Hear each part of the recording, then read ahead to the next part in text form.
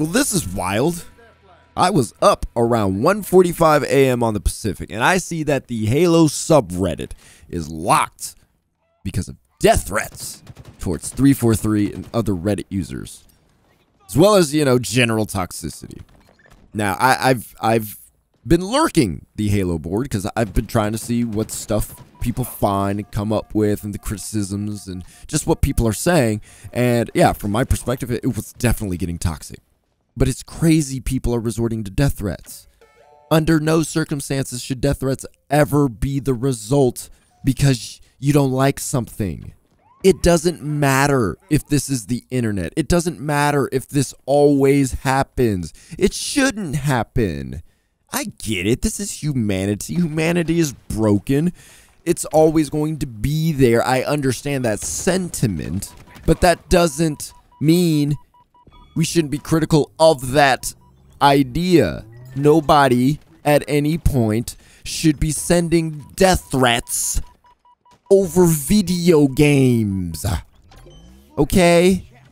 So, how did we get here? Here's the short version. We all know Halo Infinite has four modes Quick Play, Bot Boot Camp, Big Team Battle, and Ranked Arena. Now, people have been asking for a Slayer playlist since the beta's launch. 343 announces uh, last week, a couple of days ago, that Fiesta, SWAT, and Free For All playlists will be coming soon, and that Slayer will be coming later. And that is when people lost their crap. That right there. And people lost their crap because they think that adding playlists should be simple or that it should have already been there. People created their own version of SWAT, so why can't they just do it? Everything around that conversation devolved into 343 is incompetent. So Sketch, one of the community managers, he gave several explanations as to why it's not as easy as just flipping a switch. How did the people respond? You're doing it wrong. How could it be that difficult? Your game isn't built right if you have to do all that. I'm not joking. All these armchair developers just came out of the woodwork with their experience. Some people have experience in software development, but not game development, and are still trying to tell 343 that they're doing it wrong. It is one of the most blatant manifestations of people wanting to continue to hate on 343 because of how they handled Halo 4, Halo 5, and the launch of the Master Chief Collection. Like, this is where this all comes from. People already don't like 343. So the moment 343 does anything wrong, particularly when they got something right, they're quick to go back to, uh huh, see? Yeah, these guys don't know what they're doing. We told you. Now, keep in mind, this distrust and dislike has been further increased since the beta because the battle pass hasn't been implemented well. So people are feeling extra justified in their skepticism towards 343's ability to create something good. And it has snowballed into this nonsense over one playlist. One freaking playlist. Here's what so many of these people don't understand though. The current playlists were created with the intention of solving a problem. That problem, particularly quick play, is people not engaging in objective based playlists. So, what did 343 do to solve that problem? They combined Slayer and the objective based games and called it quick play. I don't think that's an unreasonable thing to do if the continual problem of Halo and its playlists is Slayer tends to dominate the playlists. If any of you are familiar with Halo, you know for a fact Slayer dominates. Objective based games get the shaft. So 343 was hoping that by doing that, by combining the objective based games and Slayer, that people would play all of the game types, particularly, you know, the ones that have made Halo great and makes Halo differentiate itself from its competitors. So no, yeah, they they didn't originally have Slayer as a playlist in mind. So it shouldn't be a surprise after they've already explained this. It shouldn't be a surprise. Their goal was to launch a multiplayer with a potentially gargantuan player base because it's free to play and make sure there was as little connection and server issues as possible. It's easier to track any problems when most of the people are, you know, quote unquote in one room, right? Which that would be quick play. Plus, you have the added benefit of letting new players experience objective game types. So they were trying to solve two problems at once. They wanted new people into Halo to experience Halo's iconic game modes. I mean, when was the last time you saw Capture the Flag, right? Like, I'm glad that's back.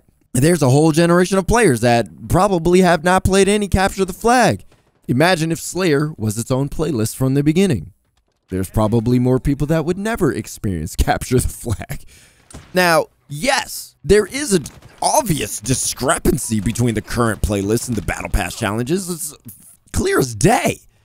I get wanting a playlist that is a solution to the problem of challenges, but that's not what these people are talking about. They're just saying 343 are stupid because they didn't include a Slayer playlist in the first place. I understand the criticism of releasing a game that is not completely done.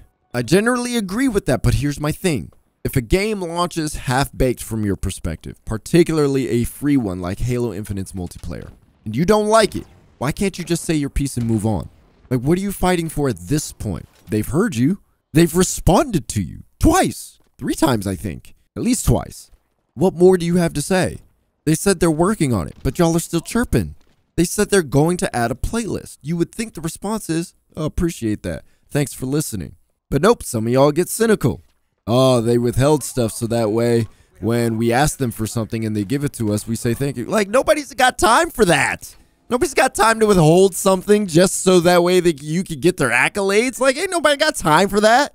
Or the other response is, oh, but it's not coming now, and I'm mad it's not coming now because it should have been here already. And see, that's why games should be complete when they come out. If that's how you feel, okay. I'm not going to argue with you. You can feel that way. That's fine. I understand that criticism. Stop playing the game. See, that kind of talk is why they get away with stuff. No, that's literally your solution. If it bothers you so much, stop playing. Halo Infinite multiplayer is not going to be measured by sales, it's going to be measured by engagement by time spent playing. They don't expect most people to buy anything. It's free to play. That comes with that label. Voting with your wallet in this instant doesn't mean as much. So you vote with your time and you don't give it to them. You stop playing. Say your piece, give your criticism, and stop playing. If other people don't agree with you, you ain't got to say no more. It's not like those people are going to change 3 4. Oh, yeah, there's enough people who like what we do. No. 343 has heard you. 343 has said they're going to make changes, and you're still not happy. I don't understand it. But here's the bottom line Halo Infinite has always been positioned as a live service game. 343 wanted to make sure that they did not repeat the same problems as the Master Chief Collection or Halo 4's multiplayer. So they consolidated. And guess what? So far, this feels like one of the best Halo games in a long time. Much better than 5, far better than 4. And you also know what? It doesn't have nearly the same level of connection problems as the Master Chief Collection had at launch. In that regard, 343 succeeded. We should be applauding them for that. Did they whiff the battle pass? Yes. Did they have all your favorite playlists? No. But guess what? They can fix it. And they said they will fix it. Ladies and gentlemen, welcome to live service games. Tap whatever thumb you like and subscribe, as I'll be following all the Halo Infinite action.